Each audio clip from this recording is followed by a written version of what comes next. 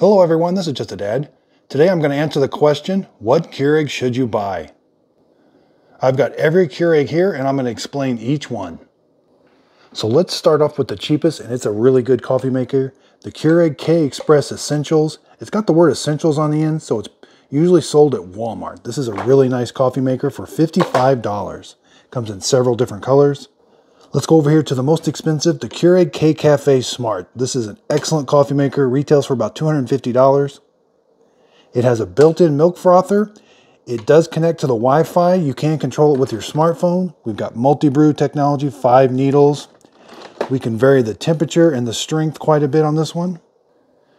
Okay, so Keurigs I think are kind of grouped into certain, certain categories. So these three have milk frothers. We got an older one. I got two older ones back there, the Keurig K-Latte. It's got a milk frother, but these are the current ones that I consider. So we've got two that kind of travel. We've got the K, K Express and the K Express Essentials. So these are pretty much the same. This has bold brew. This one is cheaper and sold at Walmart. Here we've got the K Mini and the K Mini Plus. These are really meant for travel or small spaces. Back here, we got the K-Duo and the K-Duo Plus. These are excellent coffee makers that you can do a full pot of, of coffee on one side and a K-Cup. Same with this. Okay, so I did lose one coffee maker. I, I do have a Keurig K-Duo Essentials. I can't find it. It retails for $80. This is sold at Walmart. So as far as the Duos, this, the Duo Plus is the top of the line. It's got a stainless steel carafe. It does a K-Cup back here. And you can do a full pot of coffee right here. Same with the K-Duo. It's got a glass carafe. Now the K-Duo Essentials is pretty much kind of like this. It's a little bit cheaper. Doesn't have a display screen and it's sold at Walmart. Next, we got the K-Slims. I got a K-Slim Iced. It's got an over ice button and this is just a standard K-Slim with the five needles. Next, we're getting into the K-Supremes. I got K-Supreme, K-Supreme Plus, K-Supreme Plus Smart, and then this is the brand new K-Supreme Smart coffee maker. So again, this is the K-Supreme Plus Smart. This connects to the Wi-Fi, this connects to the Wi-Fi. Okay, so now let's talk about some older ones. They still sell these. I still think these are very relevant coffee makers. I got the K Elite. This is a very nice coffee maker. It's got an internal tank that heats the water up and then it brews the coffee. We got over ice. But if you'll notice, the buttons are kind of like, you got to know what size these are. So I really like the newer ones. They have the 8 ounce, 6 ounce, 10 ounce, 12 ounce. But the K Elite is a very nice coffee maker. It's got the single needle at the top. This is the K Select. Again, a very nice coffee maker. It's got the pictures, so you'll get used to what, what ounces those are, but you can do a strong brew with this one. The water reservoirs are a little tricky to take on and off. They're not the most convenient as far as handling. And this is the tried and true K Classic. So this is a very nice coffee maker. They sell a bunch of them. Single needle on top, single needle on bottom. Water reservoir again. You can take it on and off. It's a little awkward. You've got these buttons here to press and some lights. Again, it's got an internal water tank that holds water. You're going to heat it up and then it brews the coffee. Okay, so back here in the back row, I got two older ones. The K Latte, they're still making this one. And the K, K Compact. Walmart still sells this. Um, I consider this a pretty old, but it does work. Um, it's starting to get out, go up in price. They used to put this on sale quite a bit. Again, kind of the older fashioned buttons as far as quantity. The water reservoir is a little awkward in the back. You can take it off. You can see how these two are relatively close. It does have a milk frother again, but again, I just consider these older. There's better ones out there. Okay, so I've got three up here in the front row that I really love. The K Cafe, K Cafe Essentials, K Cafe Smart. So the K Cafe Essentials, it's got the word Essentials on it. Built-in milk frother. It's got the single needle on the top. This is sold at Walmart. It is on sale for $79. It's an awesome coffee maker with a built-in frother for that price. You know, you go over here to the K Cafe Smart. We got multi-brew technology. The milk frother does a few more functions. We can do cold milk and three levels of froth. We're here. It's only one but this one does retail for about $250. It's very nice looking. I love these new water reservoirs. Nice big handle you can take off, fill it up, looks nice. Over here we've got the, just as the, this is the first K Cafe. I love this milk frother. So for frothing milk, I can froth it cold or hot. does a good job. It uses induction to kind of heat it up and, and use a magnetism to spin that. Where these milk frothers, you can't get that bottom wet. You cannot get water inside there, but it's easy to clean up. It's got like a non-stick surface in there, so it's easy to clean up. Again, single needle, single needle, which is okay. And then the K-Cafe Smart's got the multi-brew technology. It's gonna poke five holes. Hot water is gonna come out all five of those holes in the top of a K-Cup. Now, what's nice about these K-Cafes, you don't always have to make a latte cappuccino. This will do a standard cup of coffee. So I can do a 6, 8, 10, or 12 ounce cup of coffee. The buttons are here 6, 8, 10, or 12. Over here I can do 6, 8, 10, or 12. But I can also do a shot. So these have shots. And what that shot button is, it's you're going to put a coffee K-Cup in there. You're going to do the put the shot button. It's going to run two ounces of hot water through a K-Cup, and it's going to mimic an espresso shot. It's basically just a really concentrated coffee, but it's only two ounces, and you're able to mix it with your milk that you froth, and you can make a latte and a cappuccino. And here we've got a shot button right there. Now, the K-Cafe Smart, it gives us two shot options. When the screen is on, I can do a single shot or a double shot. And the double shot is four ounces. A single shot is two ounces. You know, I think the K-Cafes, they're a little bit bigger, but having that milk frother and being able to brew just a standard cup of coffee or being able to do cappuccinos or lattes, these are fantastic coffee makers. Next, we've got the lower price, the K-Express. Very nice coffee maker. Single needle, this is the Walmart version of it. They pretty much didn't put the strong brew in here. This one does have a strong brew, 8, 10, or 12. This one, I do like that it has 6 ounce, 6, 8, or 10. You know, the water reservoirs around back, we can take the water reservoirs off. They're not as nice looking as, you know, the K-Supremes with their nice handles. I love those water reservoirs. Okay, so the K-Minis. We got K-Mini Plus, K-Mini. Pretty much identical coffee makers except the K-Mini Plus you can remove the water reservoir. Where the K-Mini, you cannot remove the water reservoir. So with these K-Minis, um, very nice coffee makers, but every time you brew a cup of coffee, you've got to put the amount of water you want to brew back here. They got little lines on here, so what you're going to do is you're going to take your water, pour it in, put your K-Cup in, put your coffee mug down here, close the lid. Very simple, press the brew button. So this one does, the Plus also has a strong brew. And the Plus also comes with this pod storage. I have traveled with this. You put your pods in here and this, this is, it, it fits in a backpack really nice. The cord actually will go all the way up into the machine. Okay, so let's get over here. K Elite. This used to be kind of their top of the line. Very versatile, a lot of menu functions. I can, I can change temperature brews. I can do high altitude brewing. I can do hot water. I can do iced but kind of an older fashioned design where it kind of tilts the cup forward. You've got the single needle on the top. But again, this is a very solid coffee maker. K-Select, kind of along the lines of this with the buttons kind of the way they were. With pictures, you can do a strong brew.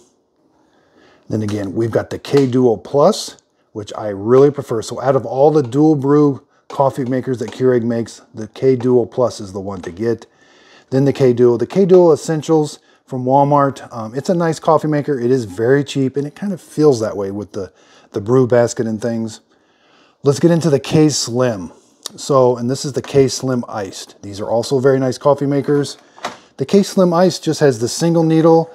The new K Slim has the five needle multi-brew technology. Pretty standard. Um, I like that they got the numbers 8, 10, or 12, 8, 10, or 12, and I got the over ice button, which is nice. Let's get on to the K-Supremes, the original K-Supreme. Awesome coffee maker. First one with the multi-brew technology that came out. All, all the ones that have multi-brew technology are identical to this one. Five needles, steam or hot water comes out all five needles. You're gonna close it. We can do six, eight, 10, or 12. We can do a strong brew. Absolutely love these water reservoirs. Easy to take off, nice um, handle, easy for filling up. All right, now the K-Supreme Plus. This is the first one with a little screen. Uh, really nice. We got we can memorize different uh, settings. We got different strengths, different temperatures, like three of each. We can do four, six, eight, 10, or 12. Lots of different settings. Very stylish, kind of some steel on it. Multi-brew. Nice big reservoir. Now we got, this was the K-Supreme, K-Supreme Plus Smart. K Supreme Smart. Brand new 2022. Got the multi-brew, multi-brew. Very, both of these are stylish. This one's plastic. This one does have a metal finish, but they have a nice reservoir. You can see they're different sizes that you can lift up, easy to fill up. Not a lot of difference between these two. Um, yeah, there's a hot water brew button. Got an over ice, but the over ice button on this one is right here and it's right here. So these are pretty much almost identical coffee makers. Other than you will see these come in different colors, some with steel, some without. Now the, this one is, it's got a fixed reservoir. I can move this one, the newer one, I can move the water reservoir to the back side, make it kind of really skinny. The K Supreme Plus, it's fixed. The K Supreme, the original one, I can move it to this back side also. Here's what the back side of the K Slims. These are nice water reservoirs, a little awkward, but they're nice. K Duo water reservoir. I do like the K Duo Plus water reservoir. It's got like a nice big handle, and I can move the water reservoir around to the back. I can even move it over to this side also. So this is a very versatile coffee maker. Okay, so here's my three recommendations. On a budget, Keurig K Express Essentials from Walmart. $55, comes in several different colors. Awesome coffee maker. If you like the variety, the K Cafes, this is gonna be a tough one. This one I really do like. The K Cafe Essentials from Walmart. You can't beat that price. $80 right now on sale. You know, you're jumping up to 250 for multi-brew, a couple, you know, a nice screen. The milk frother does a few extra functions. Um, boy, it's a tough one between these two. So if you're got if you're on a budget, K Cafe Essentials. This one's also, but you know, there's nothing, absolutely nothing wrong with the, the original K Cafe either. Okay, so let's say you're just brewing coffee. So these K Supremes are really nice. Um, you're gonna get up to around close to $200, $250. The original K Supremes coming down to around $100. It's a nice coffee maker, um, but I do think these K Supreme Plus smart coffee makers look nice. You know, the K Supreme Plus, the original Plus, it's got a nice metal finish and looks real nice. I do like it. It's a great option. No Wi-Fi, nothing. Now the ones that connect to the Wi-Fi, you don't have to use Wi-Fi. That's only for Brew ID. It's gonna recognize the pod that you put in, give you the recommended brew settings. It does it all because it talks to the internet. Keurig gives you what the, the recommended brew settings are, but you do not have to connect these to the Wi-Fi. If you don't connect them to the Wi-Fi, it just says standard brew and you can still select 6, 8, 10, or 12. Even when it gives you the recommended brew, you can still change whatever uh, setting you'd like. The Wi-Fi gives you some added functions. They will reorder you K-cups if you know it's gonna. They're gonna know how many K-cups you've used. So when you get low, they're gonna reorder. They do have an auto reorder that you can have. And these do connect to your tablet or your phone, and, and the app is the Keurig app is really nice. It's got some drink menus in there and different recipes that work really well. And you can you can actually with your phone um, start your coffee maker and make it brew.